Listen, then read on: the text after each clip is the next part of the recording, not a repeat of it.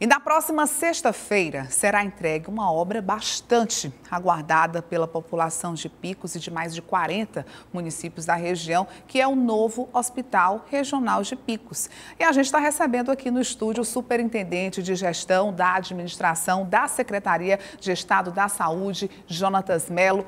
Boa noite, superintendente. Seja bem-vindo novamente ao Notícias de Picos. Boa noite, boa noite a todos que estão nos assistindo. É um prazer sempre estar aqui. O senhor veio anteriormente, né, aqui no, no estúdio do Notícias de Picos, para falar justamente a respeito desses prazos, né, dessas entregas das unidades de saúde aqui no município de Picos. E agora chegou a vez do novo hospital de Picos, né, que será entregue na próxima sexta-feira. Como é que vai acontecer esse funcionamento? Vai acontecer de forma gradual, mas a partir de quando? É, então é com muita satisfação que a gente vem, né, essa semana aqui para finalizar um ciclo que foi iniciado há alguns anos, ainda na gestão passada, mas que foi intensificada no ano passado e graças a Deus a gente está trazendo aqui né, a inauguração do tão esperado hospital, o novo Hospital Regional de Picos. Então faz parte do plano de expansão da, e regionalização da saúde, a interiorização da saúde, que eu acho que é a grande marca do governo do governador Rafael Fonteles. Então, ainda no início do governo, foi feito esse planejamento, liderado por ele, pelo secretário de Saúde, Antônio Luiz, doutor Disseu, que é, que é o superintendente de média e alta complexidade, e toda uma equipe da secretaria. Então, essa equipe desenhou, liderado por essas pessoas, esse plano de regionalização para trazer maior complexidade e, e, e, e resolver os problemas de saúde da população. Então, foi feito um diagnóstico atual, e como deveria ficar um cardápio de serviços de acordo com esse planejamento. Para Picos, que é uma sede de macro, eh, de macro região, né? tem vários territórios de saúde, 12 territórios, e Picos ela é uma sede de macro região que engloba aí mais de 600 mil habitantes. São mais de 70 municípios que vão ter o novo Hospital de Picos como uma referência na parte de medicina, de saúde. O senhor falando em referência, né? O novo hospital de Picos vai ser é referência em alta complexidade. Como é que está a questão dessa estrutura, né? Essa estruturação, a questão das salas de UTI, como é que está essa questão estrutural? Pois bem, o novo hospital ele contará né, com 226 leitos, sendo 206 leitos de internação, ou seja, enfermaria, e 20 leitos de UTI que vão tratar os pacientes adultos, né?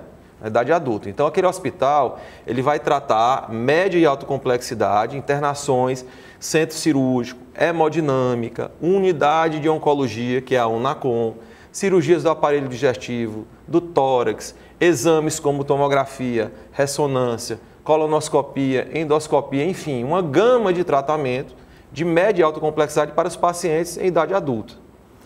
O hospital ele vai ser inaugurado agora pelo governador e por toda essa equipe no dia 28 do 6, na sexta-feira. É, vai marcar o início das ações desse hospital. Como todo grande hospital, ele não é inaugurado de forma completa e imediata. Então, a gente precisa treinamento de equipe para que tenha uma boa assistência, contratação, treinamento de equipe, fluxos, isso já vem sendo desenhado, mas a gente precisa ir na prática abrindo os serviços. Então, para o dia 28 será inaugurado já toda a parte estrutural do hospital, é, então a parte que dá apoio, né? Então a parte de gases, a parte de CME, a parte de, de internação do térreo, é, toda aquela parte acessória que traz toda a possibilidade do hospital funcionar. É, a gente vai abrir inicialmente para a próxima semana, a operação de funcionamento deve iniciar a partir do início da semana é, para 40 leitos, sendo eles 30 leitos de enfermaria e 10 leitos de unidade de terapia intensiva, UTI adulto, que já vai ajudar a desafogar a lotação que existe no atual Hospital Regional Justino Luiz. E como é que vai ficar a questão do, do funcionamento do hospital aqui?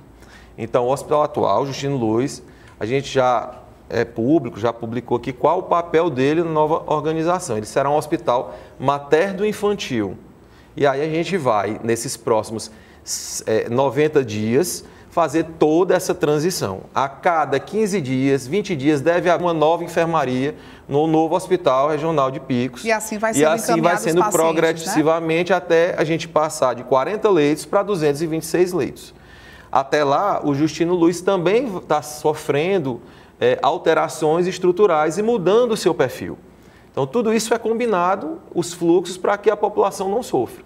Nesse mesmo dia, será inaugurada no Hospital Justino Luiz, pelo governador, a ala pediátrica com 28 leitos. É uma enfermaria que é exatamente aquela enfermaria que teve aquele acidente incêndio, do né? incêndio há, no mês de fevereiro, se eu não me engano e que a gente iniciou imediatamente a reforma. Então, é uma enfermaria com 28 leitos, a gente está aumentando aí de 10 para 28 leitos, os leitos de tratamento das crianças a, a partir de 30 dias. É uma enfermaria toda temática, lúdica, com brinquedoteca, é, terá o apoio na brinquedoteca do Pacto pelas Crianças. Então, a primeira-dama disponibilizou uma brinquedoteca do Pacto, tem esse apoio. Né? Tem, vocês vão ver, terão informações sobre a inauguração, tem umas coisas interessantes que eu não gostaria de antecipar, mas essa enfermaria já entra em operação no sábado. Né? Então a gente já vai fazer as transferências o hospital vai criando uma cara nova de hospital materno-infantil. Ok, então assim, pelo que a gente entendeu, vai ter a inauguração na sexta-feira, porém o funcionamento vai acontecer de forma gradual. Como é um assunto que gera bastante dúvidas né, da população, eu já recebi aqui uma, uma pergunta de um telespectador é, falando a respeito das transferências para Teresina. Com a inauguração desse hospital de alta complexidade aqui no município de Picos, ainda vai ser necessária essas, serem necessárias essas transferências para Teresina, como é que vai funcionar esse sistema de regulação? É, na saúde, a gente precisa, além da estrutura física, a estrutura de equipamentos e principalmente a estrutura de material humano, que são as pessoas que vão desempenhar aquele papel. Então, enfermeiros qualificados, médicos qualificados. E a gente tem na região. E está cada vez mais aumentando isso. Haja visto que a gente já tem faculdade de, de medicina, de enfermagem na região, na cidade, e a proposta, inclusive, da Secretaria, é, junto com a UESP, é que amplie, aqui inicie a pós-graduação, as residências médicas, a partir dos próximos anos. Né? Então, assim, a todo momento, a Secretaria de Saúde ela tem aumentado a complexidade das cirurgias aqui em Picos, para a macro-região, inclusive no hospital antigo. Então, cirurgias ortopédicas que antes tinham que ser transferidas para Teresina, a equipe coordenada pelo doutor Disseu, que é a superintendência de média e alta complexidade, tem melhorado os equipamentos ortopédicos, os tipos de prótese, para que os pacientes cada vez menos precisem ir para Teresina. A parte cardiovascular, ela deve ficar em pleno funcionamento em torno de 90 a 120 dias, mais ou menos, com a nova hemodinâmica que o secretário já definiu, a aquisição de uma nova hemodinâmica para o Hospital de Picos. Se a gente colocar então a aquisição dentro desse prazo, mais 30 dias para instalação, então até o final do ano a gente já deve ter a parte cardiovascular funcionando, pelo menos a parte eletiva aqui. Então isso é uma construção. Né? Eu entendo que com o novo hospital, de imediato, grandes cirurgias serão feitas aqui, porque vai aumentar a quantidade de vagas de cirurgia, vão ter equipes adicionais é, que trazem aqui resolutividade de coloproctologia. Com o início do tratamento da UNACOM, né, que deve também no segundo semestre estar em pleno funcionamento. A gente já tem como fazer a quimioterapia para os pacientes com câncer aqui. Ora, eu posso, se eu posso fazer a quimioterapia, as equipes cirúrgicas já podem também atuar aqui na macro-região. Então, vai evitar que o paciente fique se deslocando a qualquer custo ou por necessidade que muitas vezes poderiam ser feitas aqui. Né? Então, essa ampliação ela é gradual, mas a gente já está percebendo, e isso pelos números da regulação que já tem reduzido. Né? E, e, vale ressaltar, superintendente, a questão da urgência e emergência. Né? O novo hospital é destinado para atender esse tipo de, de atendimento. É, na verdade, o, o, o desenho que foi feito é, lembrar que no mês de abril o governador entregou a unidade de pronto atendimento, a UPA, a UPA. que tem funcionado muito bem. A gente tem recebido um feedback muito é, positivo da população. Né? É, o primeiro mês foram 7 mil atendimentos, numa estrutura mais bem organizada, mais bem estruturada. E esse fluxo, então, de atendimento de urgência adulto será na UPA. Precisou de internação, ele vai ser encaminhado para o novo Hospital de Picos. O pronto-socorro pediátrico permanecerá no Justino Luiz e o pronto-socorro obstétrico continuará, permanecerá no Justino Luiz.